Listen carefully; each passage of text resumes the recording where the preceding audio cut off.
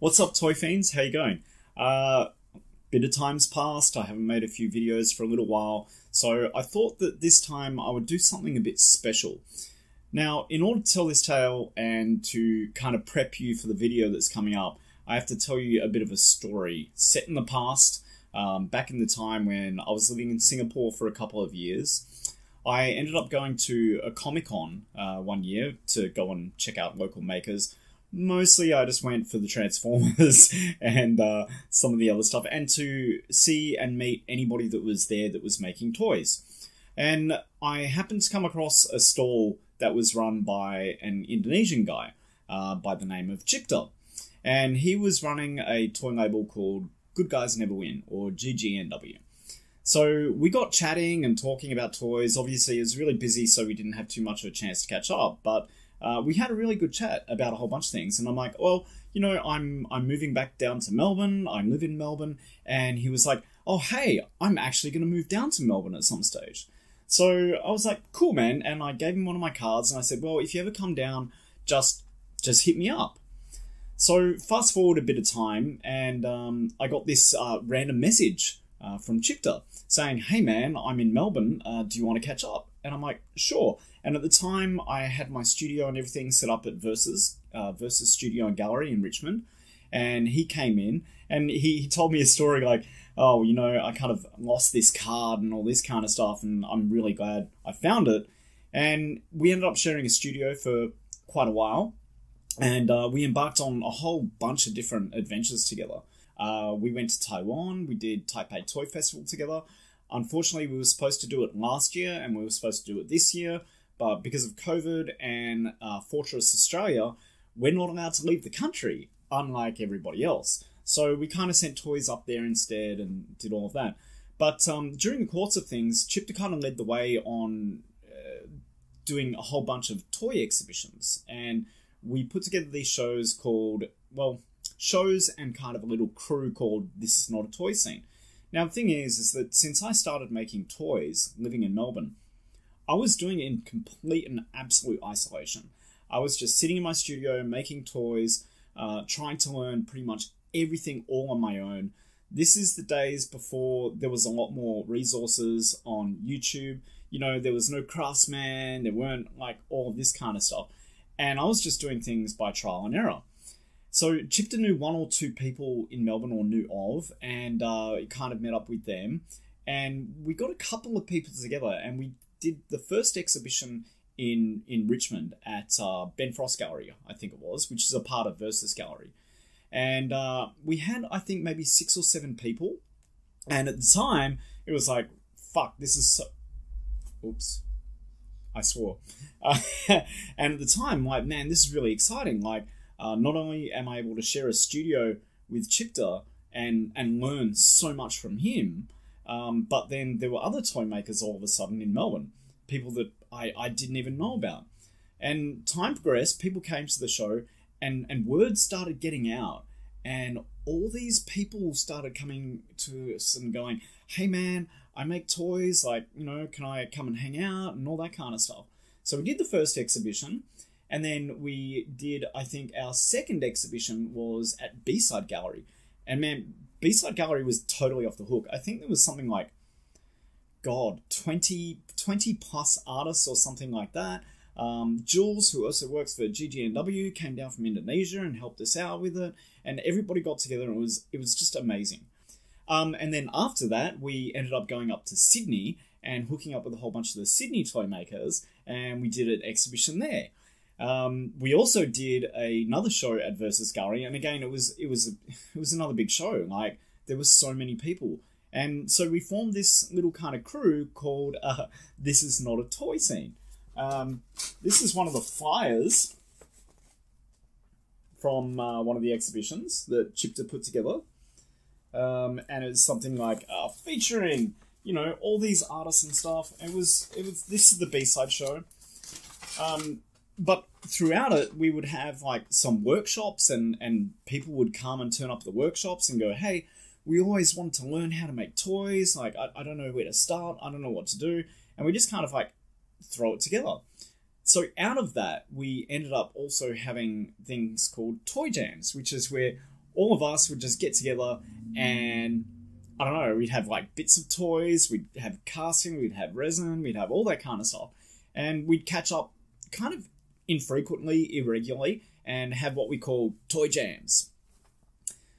These were amazing. So, this is one of my favorite things to do.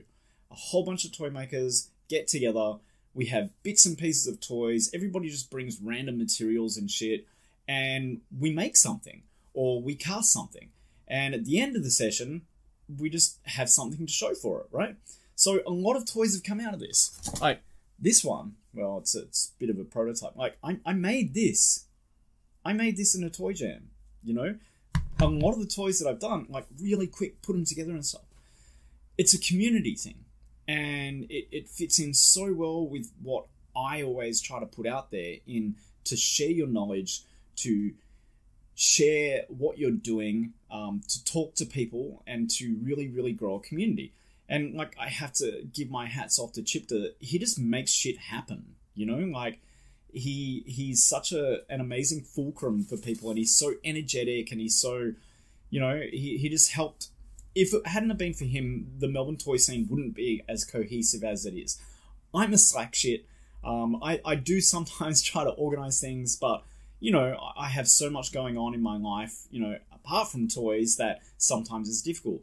And he just has this way of bringing all these people out. Um, and everybody else that's come and joined as well, they've all each uniquely and individually added to this thing until now we actually have a scene here. And traditionally, Australia has been really far behind the toy world. And much to, you know, its detriment, uh, you know, I don't know what it is about Australia. Um, I don't understand why why designer toys and stuff are not as popular here, but it, it's changing, and it's still kind of forming and getting there and being put together. And I, I couldn't be happier. I have people in a group that I can sit there and talk to now, and say, "Hey, what about this?" or "Can I try this?" Instead of just you know, being in a in a in a kind of a void I feel like I have this amazing support. And the toy makers in Melbourne, they come from all different works of life. Yeah, a lot of them come from comics and stuff, but they also come from mental health. Uh, they come from science. They come from uh, like fantasy and comic and sci-fi loving, or just the love of toys. And it's such a unique gathering of these people that have this one thing that kind of binds them together. So we did a toy jam um, about about two weeks ago, and it was the first time that we'd got together since pre-COVID. And man, you know, all that shit's happened, and I haven't made a lot of toys in the last year. I've had a lot of shit going on, and my creativity has just been so kind of like overwhelmingly slack and bad and shit, which is probably why you haven't seen many videos from me. Uh, I just kind of went into a a creative dearth, I guess, and um, was writing a lot, but wasn't really creating a hell of a lot. And I went to this toy jam two weeks ago, and and I caught up with everybody, and it's the first time I've seen Cipta in like over a year. First time I've seen Rachee Renee. First, well, first time I've seen Kayo. First time I've seen any of these guys in such a long time. And it was a smaller group of us, maybe seven of us or so, and it just it just made me it made me realize what I've missed with making toys, and it made me realize how much I love it, and that I was being a stupid shit for not sitting in the studio and doing stuff and making videos and doing all of that. I, I can't emphasize how important it is to have like minded people, not just virtually, but that you can actually literally get together with and have a toy jam. So I had a spur of a moment, last minute idea about this, and as I was going out the door, I grabbed my audio recorder and I grabbed the camera.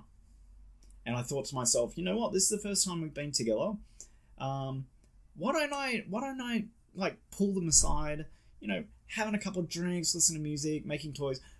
Why don't I just kind of pull them aside for a little bit, couple of minutes, and just ask them, well, why are these toy jams so important to you? And uh, it was great, and the results really speak for themselves. So for the rest of the video, I'm going to let my friends do the talking and tell you why toy jams are so important and why community and sharing your knowledge is the best thing and one of the most important things that you can have and do as a designer toy maker. Enjoy.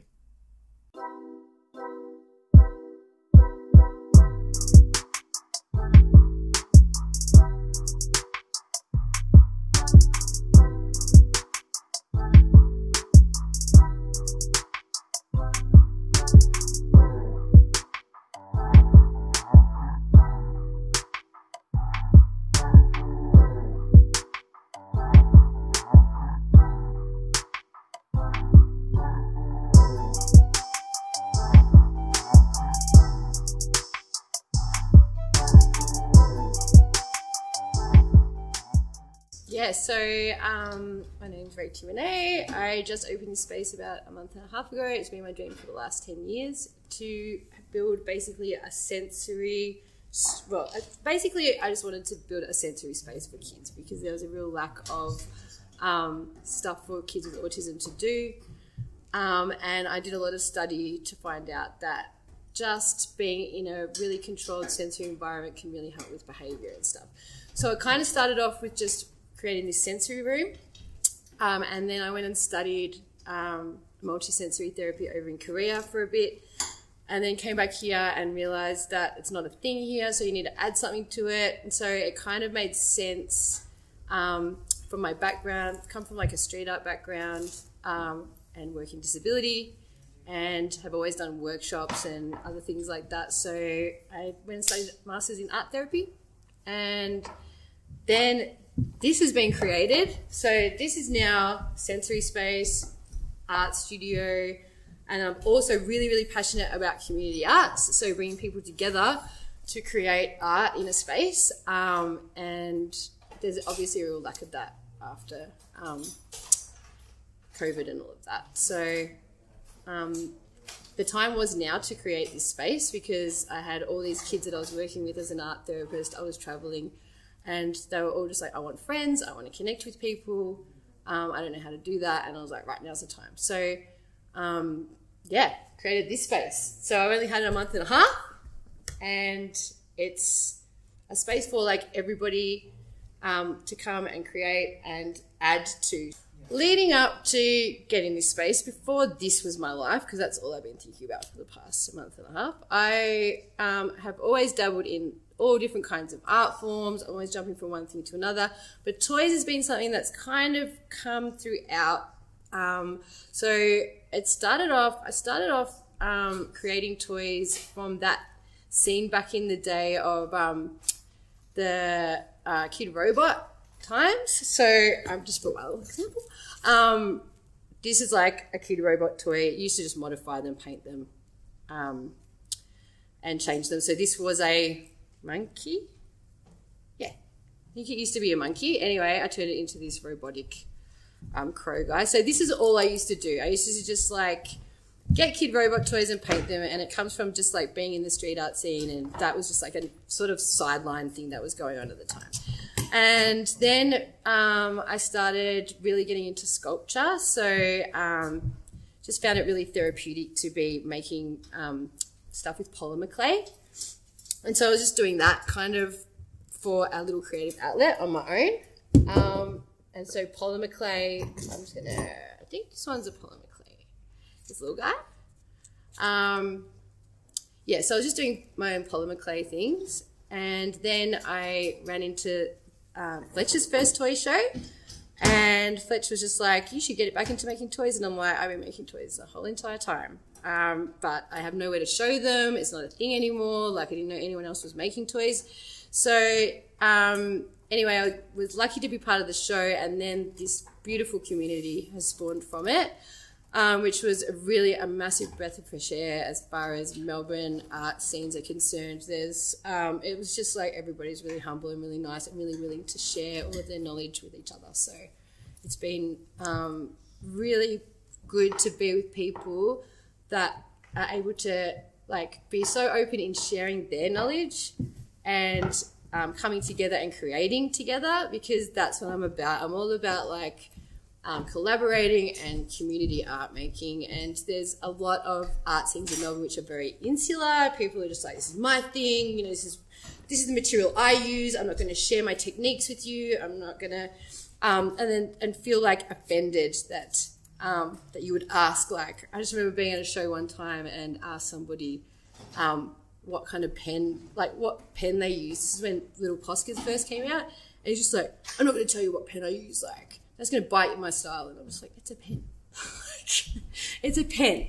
So then, like, I when I moved to Manchester, I lived in Manchester for a year, and the community over there in street art was super collaborative and beautiful, and everybody was willing to share um, all of that knowledge with each other, and that was something that I really thought was missing in Melbourne, which is hence creating space like this. But this toy scene itself is just people that naturally want to share with each other. Um, so it was a really nice way to get back into creating together as a private thing. And then I think that like this space lends itself to the toy making so well because I mean, I mean, collecting toys is my passion. I mean, I'm a big child, obviously. Look at this face. So, so like, um, and because I work with children as well, it's something that like both adults and children can kind of get into. We can share our knowledge with my clients, the, um, the wider community, and get people involved. And like, it was really funny because after we did that show, and I'll be saying to people like, "Oh, I said, I'll come to the show. I'm going up to Sydney to do this show," and they're like, "Toys? Oh, you make toys? I've been making toys, or I know someone that makes toys." And every single person was just doing it for themselves and not understanding or knowing that other people were out there making toys. So, I mean, the joy of being able to create together um, with you guys has been that my toys have evolved from just these like little plushies I used to make or little polymer clay items that I used to make to being able to learn how to use resin. Um, and I'm a learning by doing kind of a person. So um, the only way I'm ever going to learn is to sit with people and watch how they do it. And um, because I'm self-taught with everything, I can't sit and watch YouTube and copy that. I need to be involved and hands-on and making this stuff. So I am slowly learning resin. I'm not amazing at it, but it's useful. I'm not somebody that um, wants to make mass produce anything. Like I get, I kind of want to move on with my art all the time. So even with like these little guys, like I make ten. That's it. I'm not. I'm just not going to make anymore. I'm never going to mass produce. So um, I'm still like to mix all the different materials I use. I use resin for some things. It's really useful. Like, um, it was useful like in this little thing because I just made a little face, but then you can get creative and make all of the bodies a little bit different. So, um, and then, yeah, and then these guys are just like one off polymer clay kind of guys. Um, and I kind of like that one off, one off kind of things. They didn't, didn't really come from, um, uh, your typical background of what a lot of these toy makers come from, like from like comics and all that. I just really like weird toys. Like my thing is weird toys. like the weirder the better. Like this is my favorite at the moment. I'm just gonna show you. It's just over here. Somebody donated this to the space. Like look at this thing, right? It's like it's a penguin surfing. It's a penguin surfing a wave, right? It's got little wheels underneath. so, cool. so stupid. It's got little wheels and you can go along. It doesn't do anything when you move it. It's just a, it's just a penguin inside of. I love it. I love it. It's the most useless, ridiculous toy I've ever seen in my life, and I absolutely love it. We're all like these little toy geeks that we're here by ourselves, like not thinking that anybody else was doing this, and maybe you know that, like, it does lend itself to the type of people that are a little bit insular in their art making. Um, but I mean, you can come to a space like this and do workshops and learn. Um, I think learning with other people is the best way to go about it. Um, but I just think whatever you want to do to create, um, whatever you want to create something out of, just like just make it. I mean, this is just what I've been doing, just experimenting with different materials, different stuff. Doesn't matter if it's not a thing or it's not out there yet or whatever. I think with toys, you know, I mean, like your techniques of just mashing different toys together, like just do that. I mean, this guy, this guy's just like a, a pom pom that you buy at um, Spotlight, and I stuck a face on it, you know. so, so there's just so many different ways that you can make toys, and because I'm an art therapist, and um, I can really utilize this kind of toy making as a way um, to express yourself in any way that you want. So like even just we make these little um, things I call pocket pets. They're just like a little fluffy bit of material, maybe cut in the shape of a little animal or something like that. And it can just like go in your pocket as a little thing to fiddle with that feels comforting, like at school. Um, yeah, but like I mean, the great thing about toys is that your imagination can really run run wild, and I think um, yeah, just start um, yeah, just start like doing it. Start, yeah, just do it.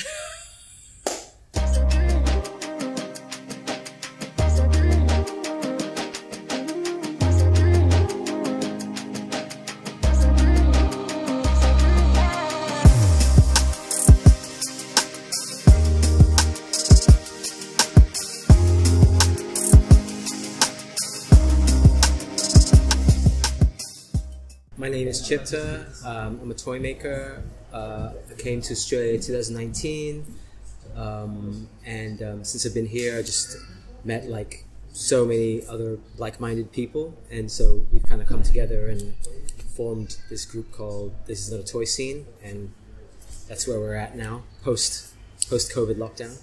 Today was um, our first little get together, I guess, since our last show, which would have been early 2020. Um, yeah, I mean, getting back together and, and um, meeting everybody post lockdown meant that everybody's kind of been in their own little world, doing their own thing, and now everybody's really enthusiastic to get back together. And today was like the first of hopefully many get togethers or workshops. We call them toy jams. I think the most important thing was that um, when I first got to Melbourne, um, I found that like a lot of toy makers were kind of in their own little worlds, and they didn't realize that there were other people doing similar stuff. And toy jams just mean that you can get together and just um, exchange knowledge. Like today, um, I was speaking with buddy AJ, and he was telling me exactly how to do.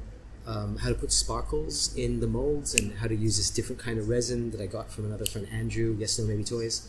Um, and so that's kind of like Kayo Toys meets Yes No Maybe Toys, and then I'm from GGNW Toys, and we've all got our own little thing going. But like this, for example, I never would have done anything remotely similar to um, these Fanta-inspired colors um, on my kangaroo and dingo toy.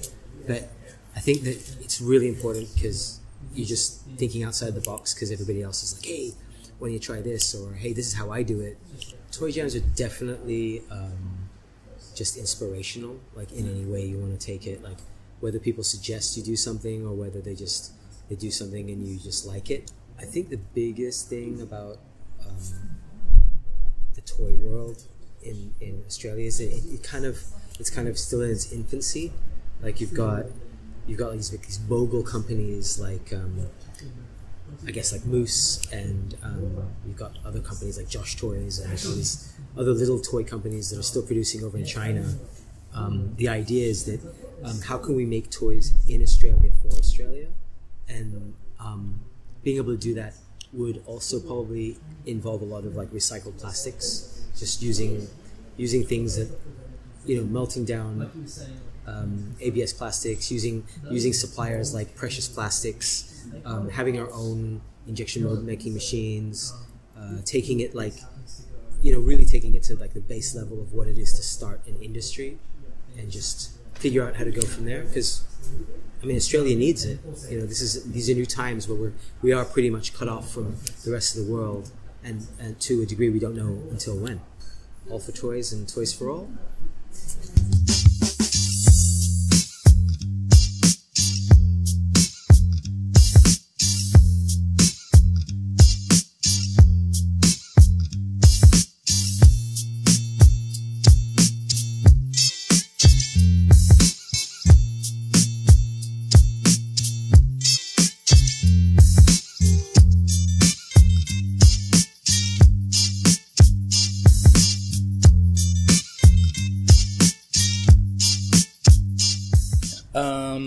I'm AJ. Uh, I go by Kayo or Kayo Toys or Kayo Company, depending on what I'm making, and I make resin toys like this guy here, Mr. Peacock. I like to make these very um, like cubist geometric animals. Well, that's what I've been making lately, anyway.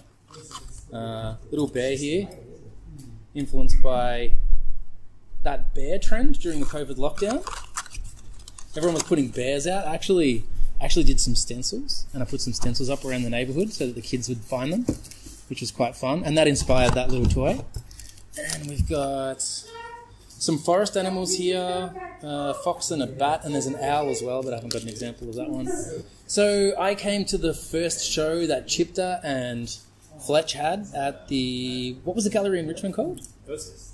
At the Versus Gallery in Richmond. Yeah, I, I don't even remember how. I don't even remember how I found out about that. But I came down with the family and I met you guys. And I was already making toys before that by myself in my garage. I had no idea there was anyone else in Australia doing it. So it was really cool to actually meet some people and be like, oh my god, there's actually people out there that are doing this. Like I just had stuff in my garage. I was selling a few little things online, but so completely isolated. Yeah, they just it just needed someone like you guys to come along and you know put on a show and get some people to come and see it to make sure that it was it was visible for people that there were other people out there doing it. And there was a few toy artists in that exhibition as well, actually, wasn't there? And then I guess a couple of months after that, we did a big group one at B side, upstairs at B side, which was a massive success.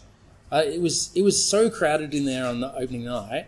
It smelt like Comic Con in there. It was so crowded, and it was and it was warm, and it was yeah, it was crazy. It was like a mosh pit in there. It was so successful, and we all we all did well. We sold pieces. It was really great, and then we did Sydney after that. Um, trying to think, we did another one back at uh, back at Versus.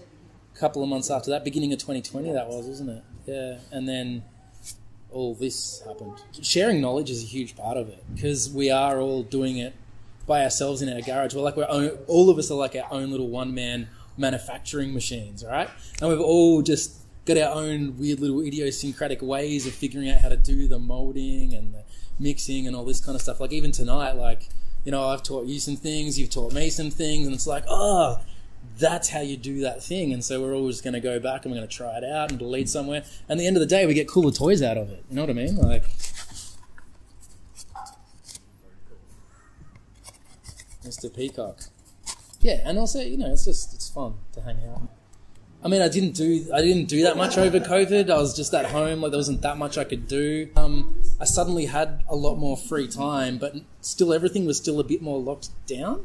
You know what I mean? It was kind of this weird in between, and so I was really active during that phase, which was which was good. I want to do more shows, definitely. So um, uh, stuff just seems to come out of nowhere. Like there's a there's a group show on at the Old Bar on the opening nights in June, end of June, and um, I've got some pieces. I've actually got a couple of these little guys in there in the group show um, with the tree diorama. I've got a. I just sent off a custom piece to the, to a show in the Philippines, like a couple of weeks ago, which was great. It was it was a weird piece. It was like this. It was like a life size boombox. It was like this big, yeah, and um, it was kind of stylized. It had like eyebrows and like the speakers were like eyes. So it was kind of cool, and but like I don't know what's going on in the Philippines. I've never been there, but like all the artists involved were sharing work, and it was all hip hop influenced stuff, right? And I was like, okay, fuck this, and I just did this full blown black metal boombox with like with like the crazy black metal logo painted on the back. You know, did like the you know the black metal makeup on his face with the black and it was all black and white. It looks pretty cool. I don't know if anyone in the Philippines is going to enjoy it whatsoever. It's going to stand out so badly, but I thought it was funny, and you know that's what I'm there for. Like, just do it. Um, you just have to learn. Like, you just you, you do. I mean, there's heaps of stuff online. If you can find people to teach you, like I wish I knew all you guys when I was first learning.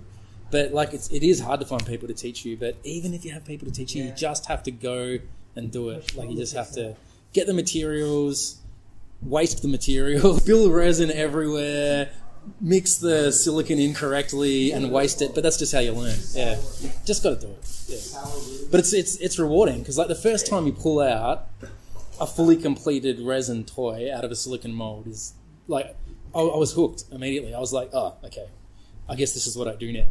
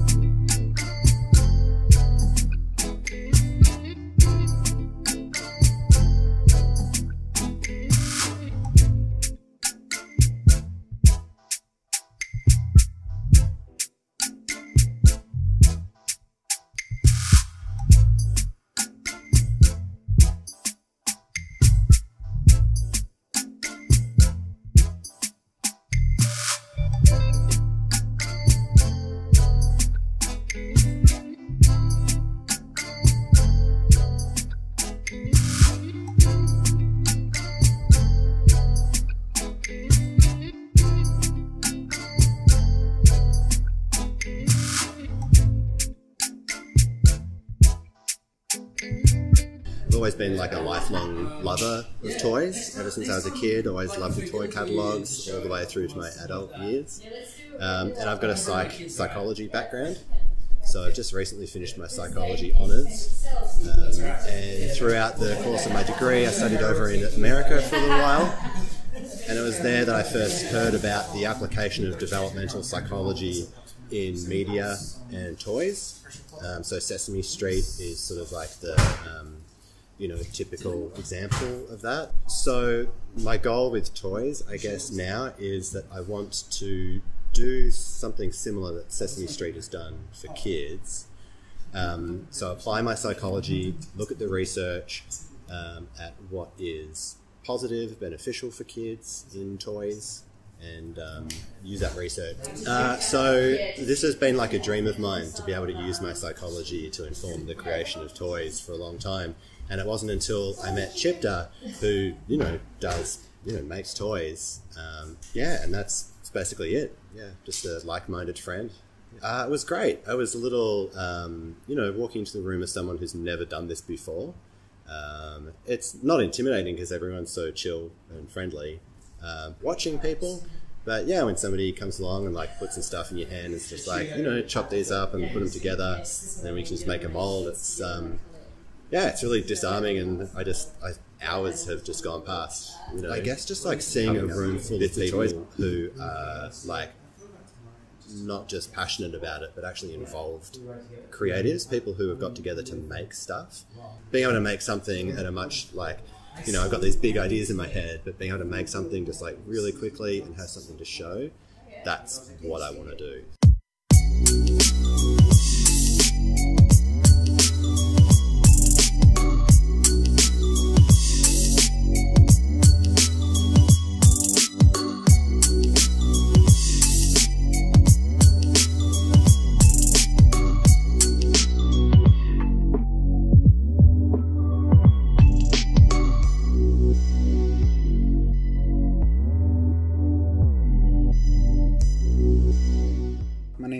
Liam Alkamraikhi. I make toys under the name ZNG.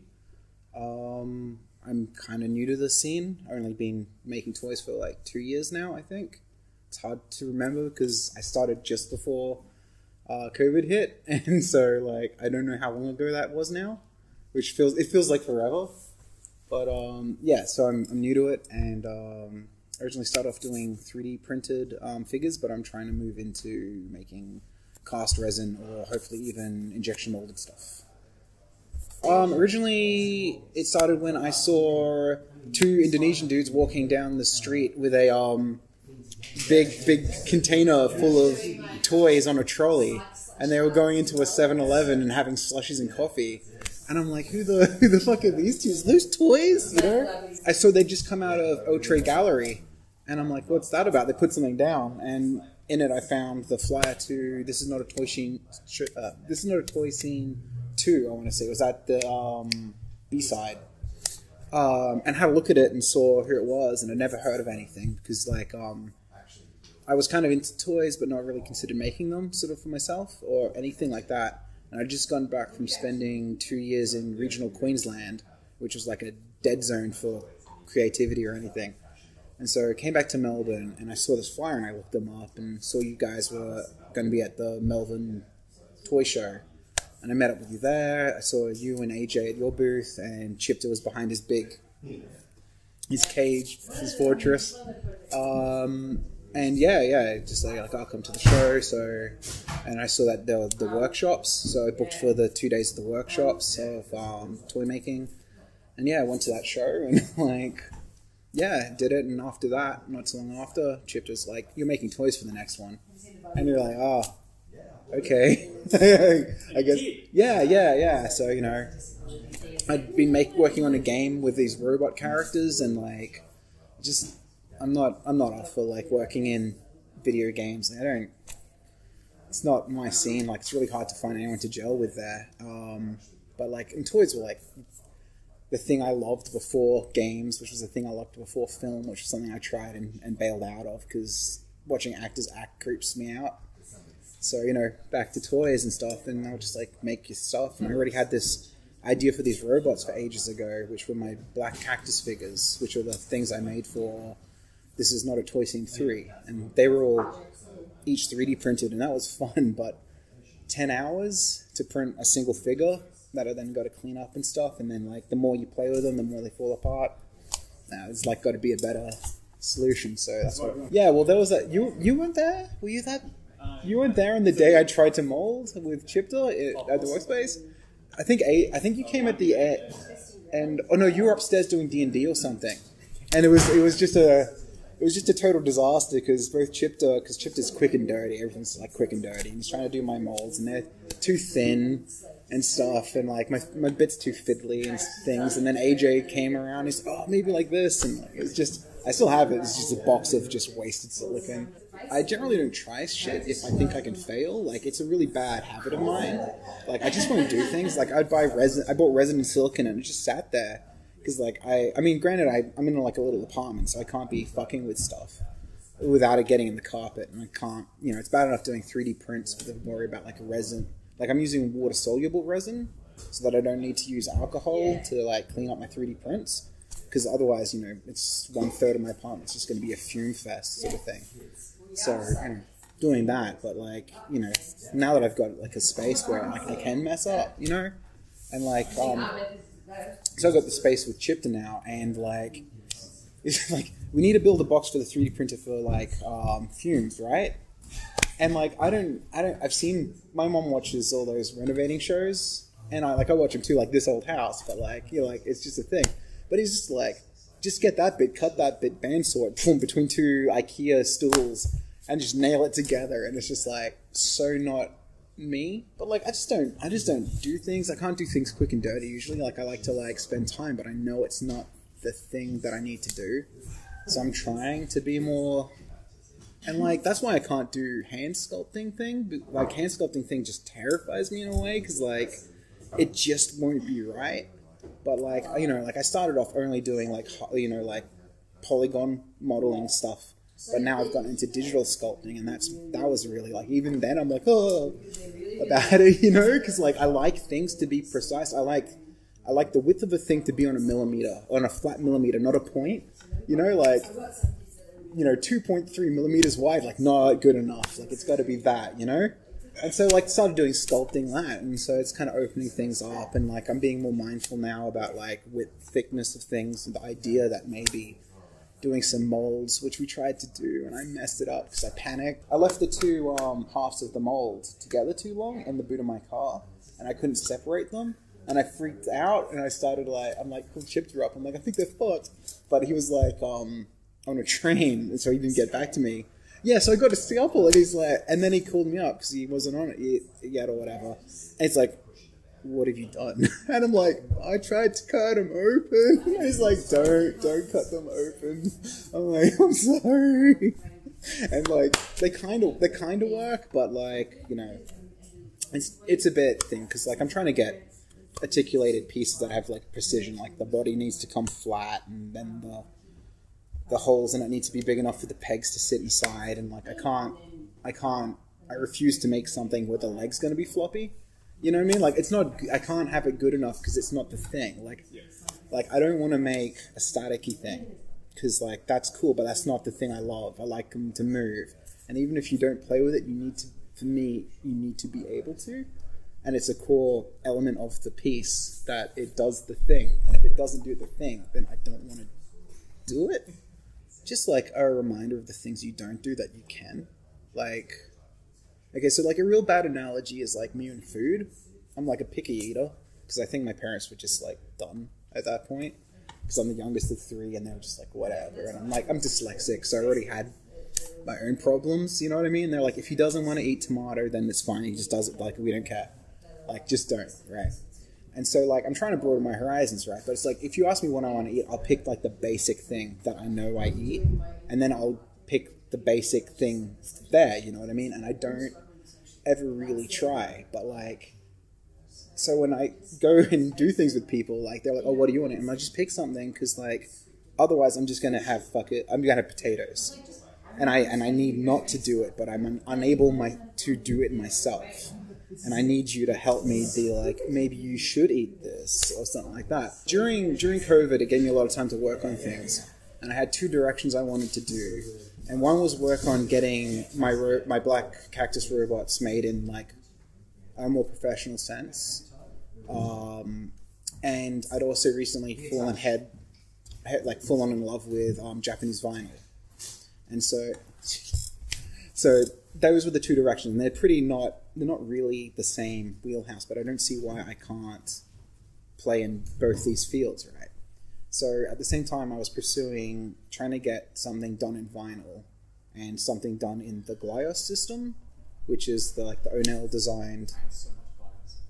We need to talk so that when this, is, this is the thing, right? You're like, big box of original Glyos. Oh damn! Oh, Because like, because like, you see something like I, I see a Knights the Slice thing, and I'm like, I like that figure because all the ones I want get sold out right away. Same as like Onell or Toy Infinity or uh, God Beast. God Beast.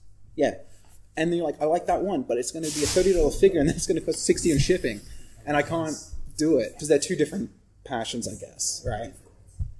And so I pursued trying to get the Glyos thing. So I was talking a bit to Jesse Stasio from um, Toy Pizza about like a couple of emails. Like he was nice, he indulged me, and to the point. And I was working on that, but I was also working this movie front.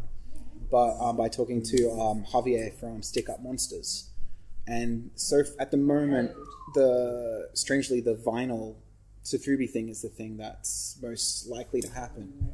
So um, because my 3D sculpting is not good enough, but I'm still good at drawing, I've designed a monster called Grave King, who's like a undead lion kaiju. It's very cool. Yeah. Um, and so I'm working with Javier to get that sculpted. Hopefully, that's going to good. And then I'm work, talking with um, AJ from. I always it's Kyoko, right? Or Kyoko. I don't know. It's it's, it's too long now, and I can't ask. Um, but yeah, and he's helping me because of um, work out a factory in Japan to get it made.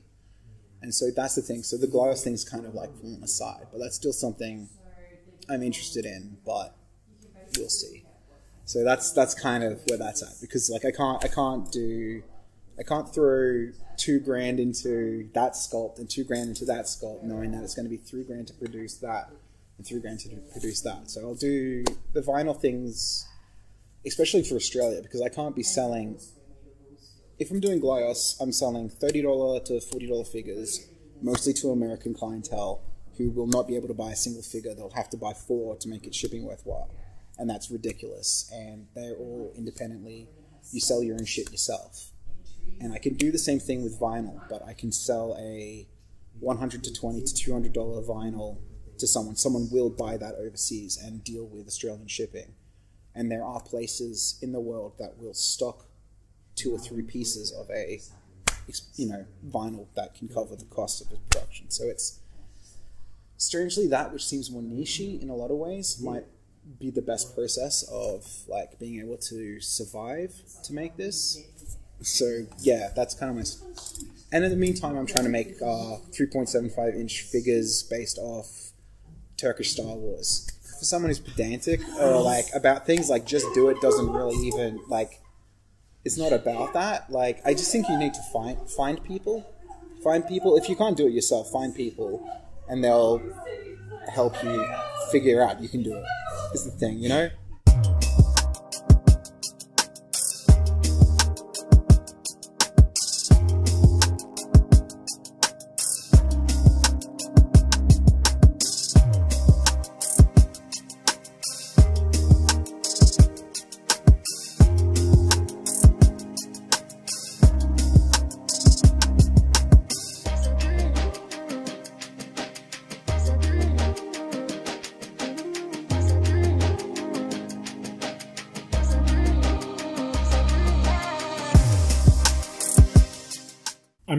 Cool is that? So these are the guys that I get to hang out with and talk about toys and make toys and get ideas from and inspiration. And these are just some of them. There's a whole bunch of other people that weren't able to make it to this toy jam. And I just have to say thanks to all those guys for all of their words and all of their inspiring shit. Uh, it absolutely and completely inspires me. So I hope that in some way uh, their stories and their thoughts have also helped to inspire you, and that you should really get out and make some friends in your local community. Um, you know, no matter what city you're in, there's going to be some people that are making toys. Find out who they are. Go and hang out. Make toys. Don't do everything virtual. And I know that that's hard in this post pre during COVID world or wherever we are at the moment. Um, but it's really essential that you do this face to face time and you sit down and create these things with people and find that common love.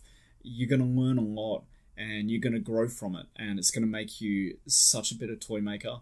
I know that all of these guys have really, really helped me um, become a, a, better creator in general, uh, just purely from being creators themselves. So I really hope that you've enjoyed this kind of different, uh, not even tutorial, but slightly interviews. I might do some one on one interviews with some of these guys and a few more people so that you can get an idea as to what the toy scene like is down here in Melbourne. Uh, that actually sounds like a pretty fun thing to me. And I just really hope that their stories and ways in which they work and the reasons that they do these things has helped to inspire you as well. So I'll leave it there for now. And uh, please don't forget to subscribe to my channel if you've enjoyed any of this. And uh, go and get fucking vaccinated. Get vaccinated. Get vaccinated. Don't be one of those crazy fucking anti vax shits. And if you are, unsubscribe from my channel. I don't really care about you because you're not making the world a better place. Vaccination is key. But besides that, uh, yeah, subscribe. and um, look, I really hope that you've enjoyed this one, and I will try to do more videos more often for you. Uh, now that I'm back in the studio and I've got a bit of time, I can make some more videos because I'm really looking forward to getting back into making a whole bunch of new toys. Take it easy, Toy Fiends. Till next time.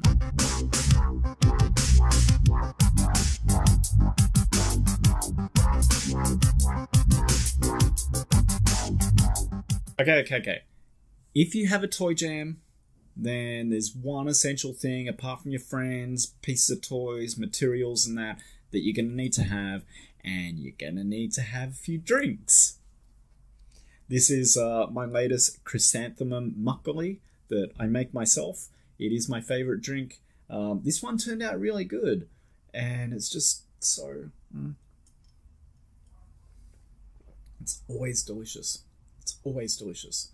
Maybe someday I'll make a video about how to make makgeolli. That'd be interesting. But for now, drink and make toys. Or if you don't drink, just have some soft drink or something that's really cool for you. No pressure. It's all cool. Don't have to drink alcohol. But if you do, just drink responsibly.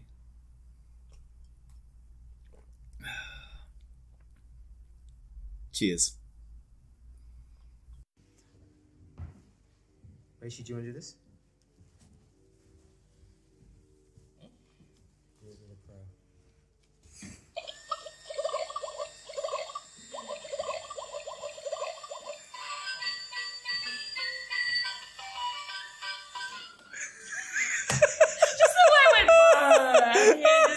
what the fuck are you doing? I'm looking for nuts. Do you have oh, any nuts? I'm looking for nuts. You don't have any nuts? Wait, what kind of nuts are you looking for? Have you lost your nuts? Nuts and bolts. Or looking, did you, you, not have any nuts in the first place? Are you looking for some A's, B's, or D's nuts? Are you sure? You want some D's nuts? what about D's nuts? Rach, he's after some of D's nuts. He's after the D's nuts.